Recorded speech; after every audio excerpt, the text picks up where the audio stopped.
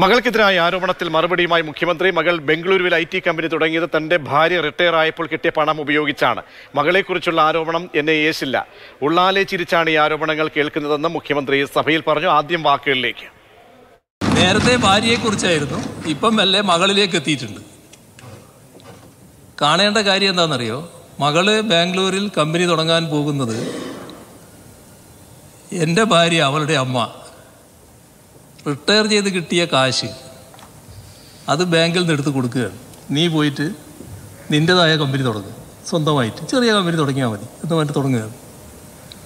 അപ്പോൾ അതിൽ നിന്ന് വന്നതുകൊണ്ട് തന്നെ ഇങ്ങനെയുള്ള കാര്യങ്ങളൊന്നും കേൾക്കുമ്പോൾ എനിക്കൊരു മാനസിക കുലുക്കം ഉണ്ടാവില്ല. ഞാൻ പരസ്യമായിട്ടൊരു യോഗത്തിൽ പറഞ്ഞല്ലോ മനസ്സമാധാനമാണ് പ്രധാനം.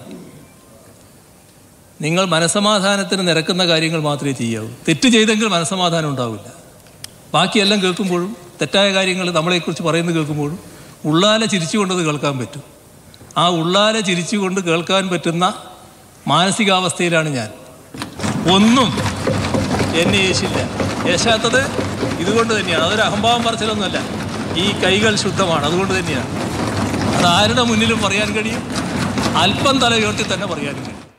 അമൽ തേനമ്പറമ്പിലുണ്ട് വിവരങ്ങൾ നൽകാൻ അമൽ ഈ വിഷയവുമായി ബന്ധപ്പെട്ട നിയമസഭയിലെ രണ്ടാമത്തെ മറുപടിയാണെന്ന് തോന്നുന്നു മുഖ്യമന്ത്രിയുടെ ഭാഗത്തു നിന്നും വരുന്നത്. ഈ കമ്പനി തുടങ്ങിയതിന്റെ സോഴ്സ് സംബന്ധിച്ചുള്ള ആ പണത്തിന്റെ സോഴ്സ് പറയുന്നു.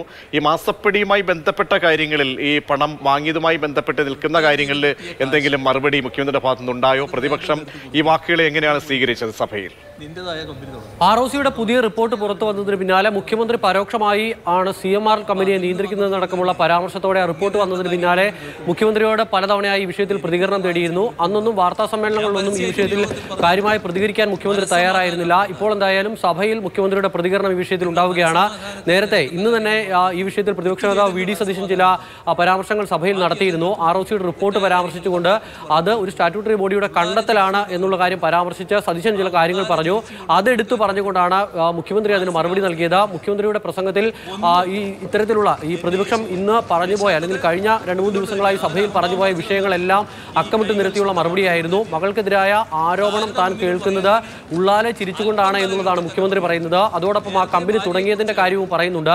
കമ്പനി തുടങ്ങിയത് തന്റെ ഭാര്യ റിട്ടയർ ആയപ്പോൾ കിട്ടിയ പണം ഉപയോഗിച്ചാണ്.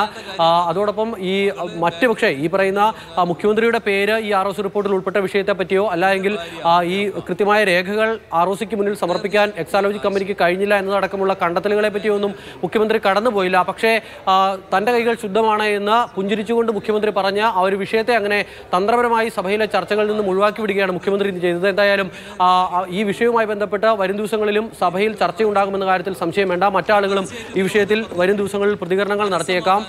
മുഖ്യമന്ത്രി താൻ തനിക്കെതിരെ ഉയർന്ന നേരത്തെ ഉയർന്നിട്ടുള്ള ആരോപണങ്ങൾ അത് കമല ഇന്റർനാഷണൽ മുതൽ കൈതോലപ്പായ മുതൽ ഏറ്റവും ഒടുവിലെ ബിരിയാണി ചെമ്പടക്കമുള്ള ആരോപണങ്ങൾ വരെ എടുത്തു പറഞ്ഞുകൊണ്ട് അതൊക്കെ എവിടെ എത്തി എന്ന് ചോദിച്ചാണ് ഈ വിഷയങ്ങൾക്ക് മറുപടി വിഷയത്തെ നമ്മൾ സമീപിക്കുമ്പോൾ മുഖ്യമന്ത്രി സഭയിൽ ആദ്യ തവണ നടത്തിയ പ്രതികരണത്തിൽ കമ്പനി നിയമപരമായി രണ്ടുപേർ സാ ചേർന്നുണ്ടാക്കിയ ഒരു കരാർ. അങ്ങനെയൊക്കെയാണ് അദ്ദേഹം അന്ന് മറുപടി നടത്തി ഇന്നിപ്പോൾ രണ്ടാമത്തെ പ്രതികരണങ്ങൾ വരുമ്പോൾ ഈ കമ്പനി സ്ഥാപിക്കുന്നതുമായി ബന്ധപ്പെട്ട അതിന്റെ പണ സോഴ്സ് ഭാര്യ റിട്ടയർ ചെയ്തതുമായി ബന്ധപ്പെട്ട അതിന്റെ പണം ഉപയോഗിക്കുന്നത് പക്ഷേ അതിനപ്പുറത്തേക്ക് നിലനിൽക്കുന്ന നമ്മുടെ ഈ പബ്ലിക് ഡൊമൈനിലുള്ള ഈ ആരോപണങ്ങൾ അത് ഗുരുതരമാണ്.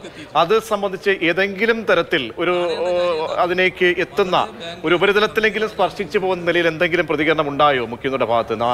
കണക്കുകൾ സംബന്ധിച്ചോ അല്ലെങ്കിൽ അങ്ങനെയുള്ള കാര്യങ്ങൾ പിന്നീട് അതാണ് ഞാൻ ചോദിച്ചത്. പ്രതിപക്ഷത്തിന് എന്തെങ്കിലും ഒരു ഇക്കാര്യത്തിൽ ഒരു ഇടപെട്ടോ അല്ലാതെ എന്തെങ്കിലും ഒരു ആരോപണമോ മറ്റോ അവർ ഉന്നയിച്ചോ?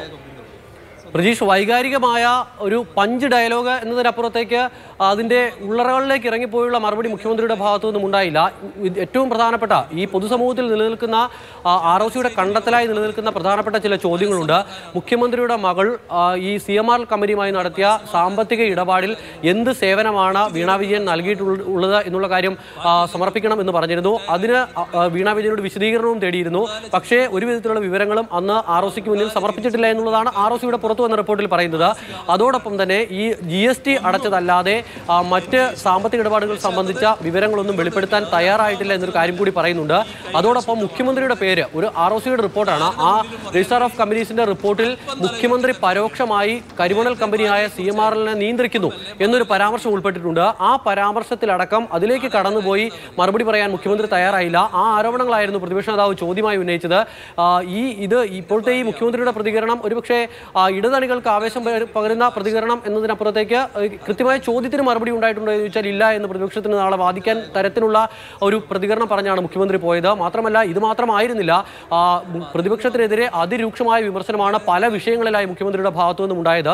അത് കേന്ദ്ര സർക്കാരിനെതിരായ സമരമടക്കമുള്ള വിഷയങ്ങളിൽ പ്രതിപക്ഷം സ്വീകരിക്കുന്ന നിലപാടിനെതിരെ രൂക്ഷമായ കേട്ടു. എന്തായാലും ഇത് വരും ദിവസങ്ങളിൽ എന്തായാലും ഒരു ചർച്ചയിലേക്കൊക്കെ വഴിവെക്കാം. കാരണം ഒരു രേഖാമൂലമുള്ള അല്ലെങ്കിൽ അത്രത്തോളം ഓതന്റിസിറ്റി ഉള്ള ഒരു ഫ്ലോറിലാണ് എന്തായാലും മുഖ്യമന്ത്രിയുടെ വാക്കുകൾ ഈ പ്രതികരണം നിയമസഭയിൽ നമ്മൾ കേൾക്കേണ്ടി വരുന്നത്. അപ്പം വളരെ ഗുരുതരമായ ആരോപണം പ്രതിപക്ഷ നേതാവിനെ എതിരെ പി വി അൻവർ ഉന്നയിക്കുന്നു. അതും വലിയ തോതിലൊരു ഫണ്ട് കൈപ്പറ്റി എന്ന തരത്തിലാണ് അതിന്റെ കൂടി വിശദാംശങ്ങൾ എന്തായിരുന്നു സഭയിൽ പ്രതീക്ഷ ആ പ്രതികരണത്തിലേക്കും ആ ആരോപണത്തിലേക്കും പോകുന്നതിന് മുൻപ് നമ്മൾ കാണേണ്ട ഏറ്റവും പ്രധാനപ്പെട്ട ഒരു കാര്യം എന്ന് പറയുന്നത് മുഖ്യമന്ത്രിയുടെ രണ്ട് മണിക്കൂർ പത്ത് മിനിറ്റ് നീണ്ട പ്രസംഗമാണ്. ആ പ്രസംഗത്തിൽ ഒരിടത്തും മറ്റ് പല വിഷയങ്ങളും സഭയിൽ സംസാരിച്ചു പോയ പല വിഷയങ്ങളും വീണ്ടും മുഖ്യമന്ത്രി എടുത്ത് സംസാരിച്ചുവെങ്കിൽ കൂടി പി വി അൻവർ ഉന്നയിച്ച ആരോപണത്തെ ആരോപണത്തെ പറ്റി മുഖ്യമന്ത്രിയുടെ ഭാഗത്തു നിന്നും ഒരു പ്രതികരണം ഉണ്ടായില്ല.